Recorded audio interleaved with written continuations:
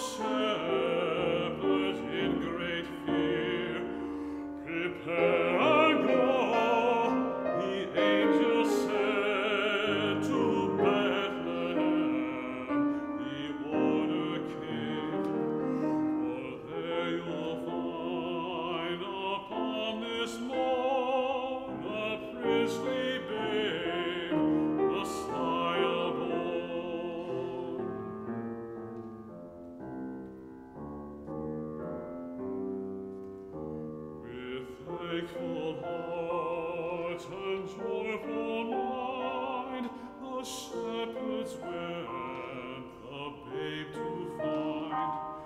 And as angel had foretold, they did Christ be